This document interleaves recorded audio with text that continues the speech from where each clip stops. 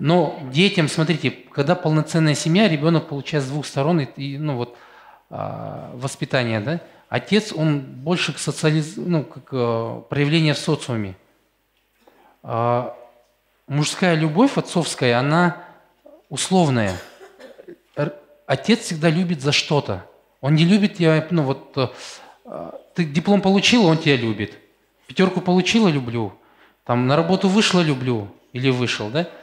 А, а у матери материнская любовь, она безусловная. И поэтому, что бы ты ни делал, мать тебя любит. И поэтому мама отвечает за твои взаимоотношения в социуме с людьми. Если у тебя много друзей, скорее всего, у тебя хорошие отношения с мамой. Отец отвечает за взаимоотношения с социумом. Если у тебя с отцом все хорошо, то ты проявлен в социуме. Это, таких людей называют достигаторы. Это люди, которые чего-то всегда добиваются. Но очень страшные люди, когда перекосы.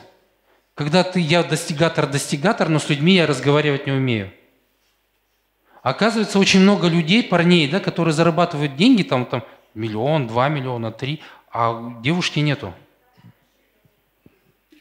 Раньше мне казалось, что есть деньги у мужчины, значит, появится женщина, она, она сама как-нибудь появится. Не появляется, оказывается. А, эмпаты – это те люди, которые, у которых материнская любовь, ну, вот, которой много. И вот когда перекос в эмпатию идет, особенно у мужчин, да, это вот, знаете, такие,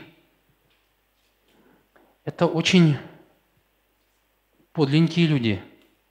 Они не идут на явный конфликт, но они тебе в жопу иголку воткнут, и ты не заметишь, когда вообще это сделали.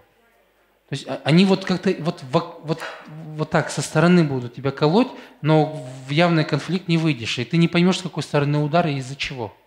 Это когда перекосы. А так вообще, вообще мы все, у нас и то, и другое. Но просто смотрите, чего больше. Если не хватает достигаторства внутри, то надо его развивать. Но это взаимоотношения с мужчиной тогда.